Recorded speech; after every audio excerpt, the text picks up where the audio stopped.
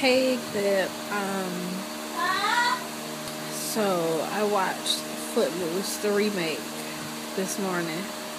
I just woke up. My allergies bothered me, but yeah, for the first time, I bought the DVD yesterday.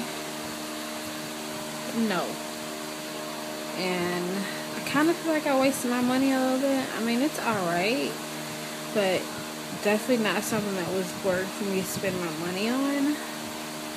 Um, so I kind of feel like I wasted my money. It's not nearly as good as I thought it was going to be. Way too country for me.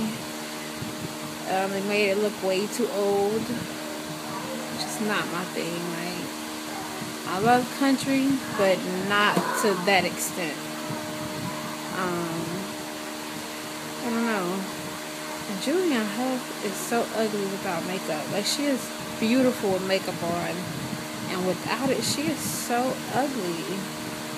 She clearly wears makeup all the time and wears it heavy. Like it's done damage to her face.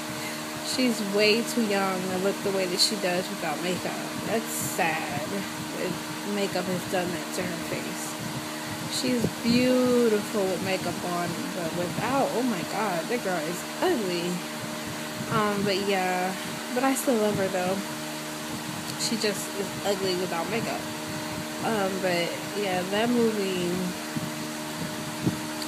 was not as good at all as I thought it was gonna be. I wish I would have just got um, the Hangover Part Two, but I've been wanting to see Footloose since it was in the movie theaters and I didn't go see it. So I was like, when it comes out, I'm gonna buy it, and I bought it yesterday, and now I'm like, oh god, I should have got Hangover Part Two. At least I would have known for sure that that movie was gonna be good, even though I haven't seen it yet. The first one was amazing, so I'm pretty sure the second one's gonna be amazing too.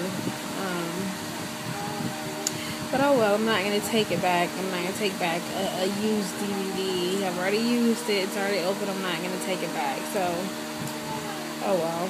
But yeah, that movie definitely wasn't worth me spending $15 on. But, oh well. It is what it is. I'm stuck with it now. So, yeah. Movie review. I give it two stars. Bye.